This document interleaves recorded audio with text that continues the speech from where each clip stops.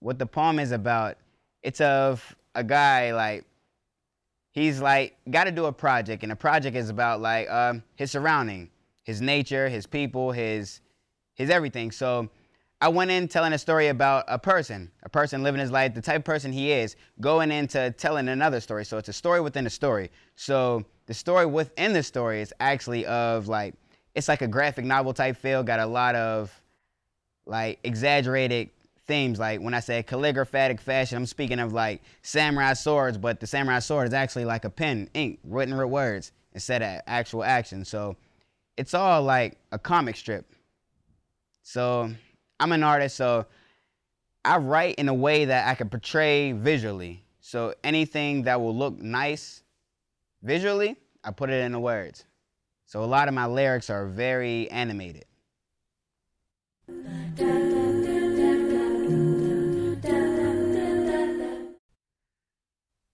How I got started in writing poetry. Um, I went to all creative and performing arts, high schools, middle schools, elementary. So I've been in writing training for a long time, but also I have like a lot of creative family members that put me on to like a lot of different views on ways to express yourself.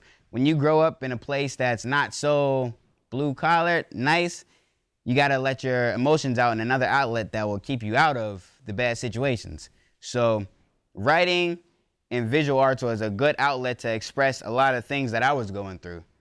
So, if it's really hectic, get more vivid with your descriptions. That's where I, I really can't I really can't make much like party fun music because I've been so trained to be so detailed and so vivid that I can't have step. Hmm.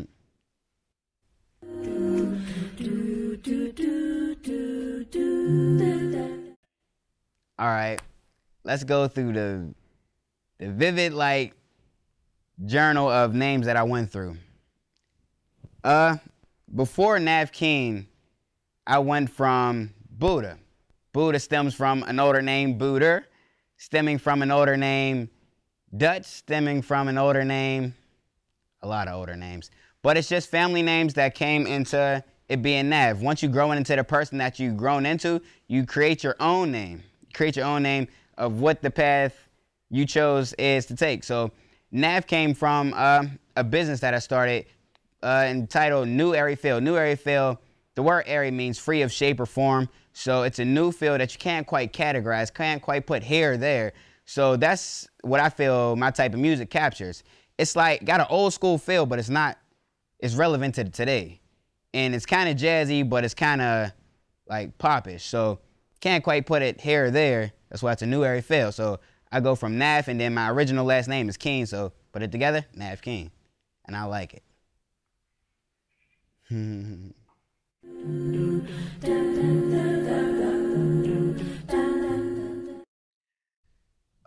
what I want people to take away from my music, from my poetry, from my art, is just my story.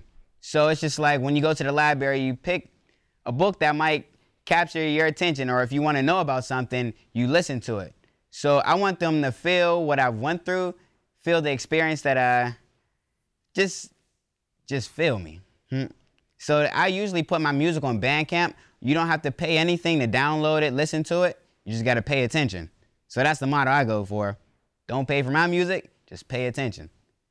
So with that, I like it. Well, yes, you can find me on all types of different like social networks. Facebook, you just type in my name, Naf Keen. On Twitter, you can follow me at Original Naf backslash Twitter. Next, the website that I put my music for free on that you can go find, that you can go read like bios and see all of the events that I've been part of is nafkeen.bandcamp.com. That's where you should go. That's where you should listen.